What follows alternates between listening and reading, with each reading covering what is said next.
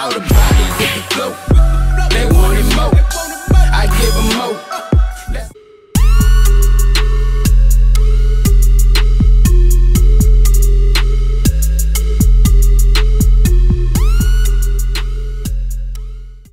Alright guys, welcome back to the channel. If you're new, don't forget to hit that subscribe button, link in the description for merchandise. Also, Tucked banners, www.tuckedtheworld.com.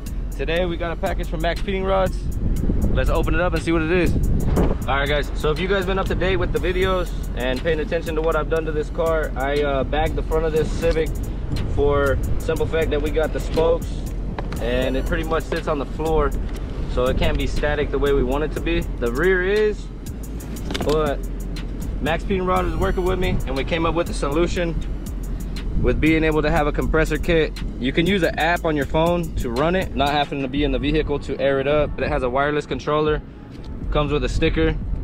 This is one of the first ones that they got as far as releasing. So shout out to them again. Shout out to Maxpeedingrods for being able to let me do this.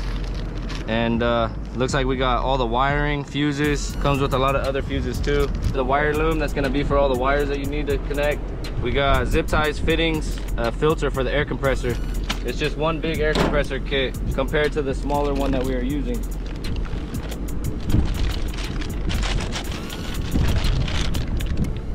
You're gonna put your filter on this spot and then basically just power and ground your windshield wiper fuse for whenever you turn the key on. Unless you wanna have it always with power so that way you can use the remote whenever you want. That's probably how I'm gonna wire it up, but here's the output. Looks pretty clean and simple. Don't look like there's gonna be any issues or any problems with it. It's pretty nice compact. Hopefully it's quiet. And then it comes with uh, airline, the batteries for the remote. And here's the remote on the top. It comes with this little remote right here, you guys.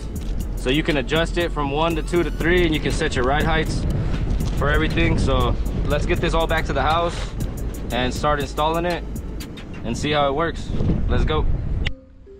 All right, guys. So we made it back to the house. I did already get everything connected and everything situated with the compressor so that way it's already working and wired up. I'm doing it right here next to the battery so that way I can figure out how I want to set everything up. There's a pink wire that is already cut short and what you want to do is you want to take that and hook that up to the power to the compressor.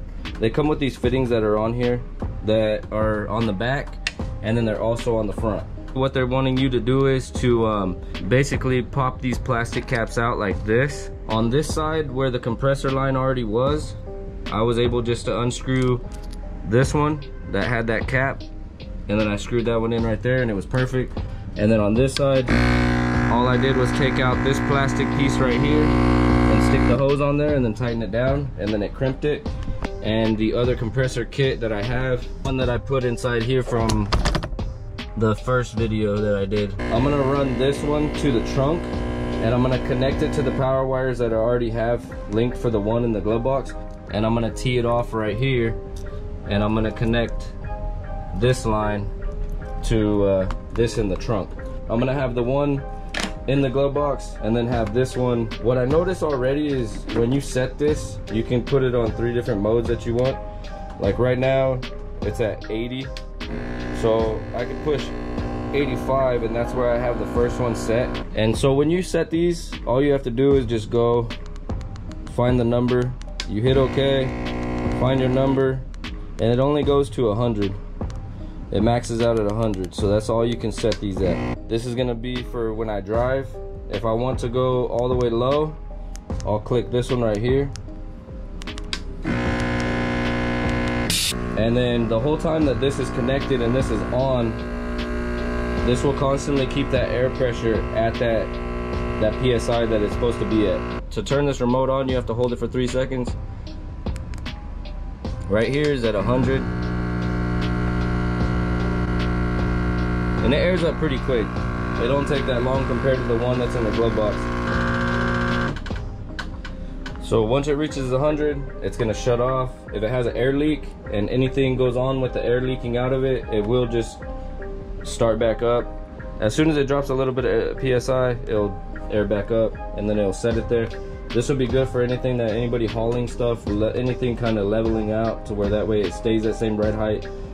If you do travel a far distance, um, every once in a while with the other kit that I have in the glove box, you gotta hit the compressor and you gotta pay attention to that. So having this in the trunk, I'll probably have a kill switch on the dash somewhere so that way I can turn this on, set the PSI while I'm driving. Adjusting anything on it, it'll just automatically do it itself with this. That'll be good to have. And then I'll just have the backup one in the glove box just so that way if emergency and this one doesn't work or anything, I can just still air it up.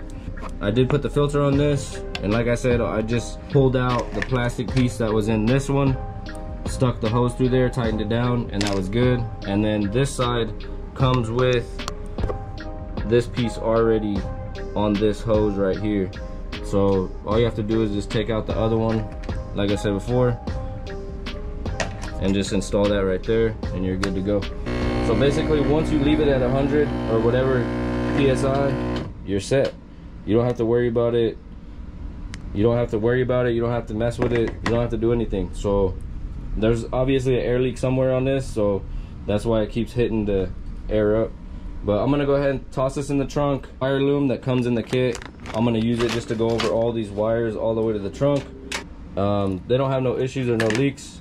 So I'm gonna get this installed, run the lines, and then I'll show you guys how I connect it right here so that way I can have both of them.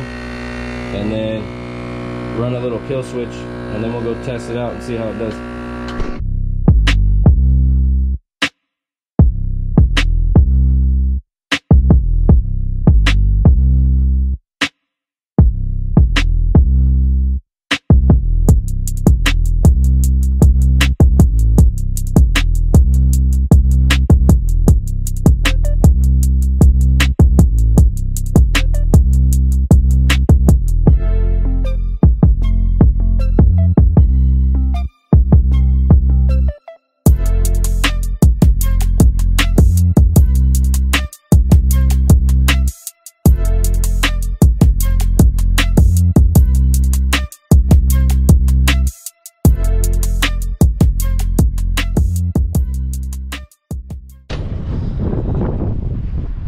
Guys. So we got everything done.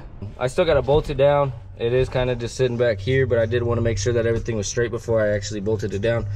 I basically just grounded it out um, right here and just ran the wires through the inside of the door down in this trim and ran it all the way through all the way to the front. It's got a fuse right there and i also did hook up a switch. Right now it is turning on it's airing up.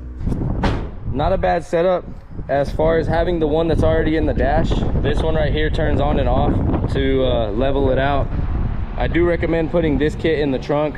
If you are running one of these air compressor kits the first one that i did install and i'll leave a link in the description for that video and leave a little tag right here for the video for you guys to see. It's at 62 right now and you guys can get an idea of it airing up.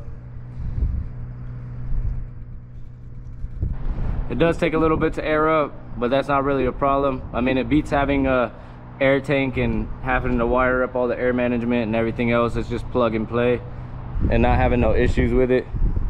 If I do want to sit here and lower it, I set the first, uh, the third setting right here to uh, 60 PSI. So when I hit that,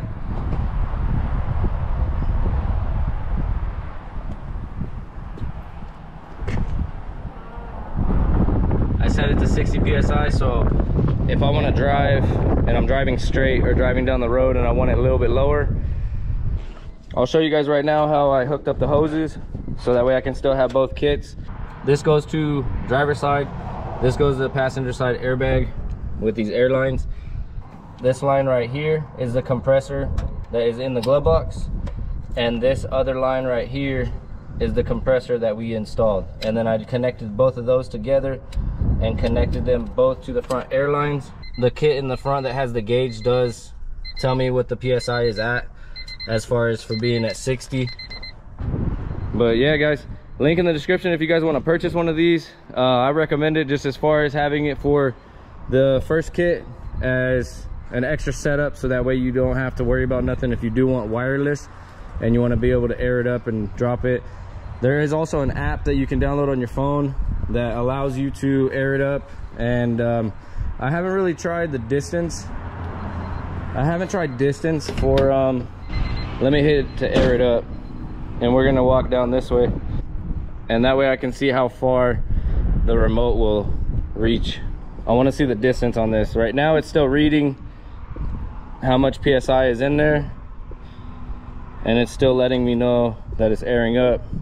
I would say we're probably about maybe about 40 feet, 50 feet. And it's still airing up. And so basically it's still aired up and it's still telling me. I'm gonna go ahead and drop it. And this is about how far I am. So it is lowering it. And I did drop it back down to 60 PSI. About 50 feet away, you guys, there you go. The remote still works. You still are able to uh, see the readings and everything. So if you were at a car show or you were walking up to your car and you were just getting ready to leave and you wanted to leave, you can sit here, be 50 feet away. So by the time it does take a little bit of time to air up, you are able to still get to your car by then and uh, leave.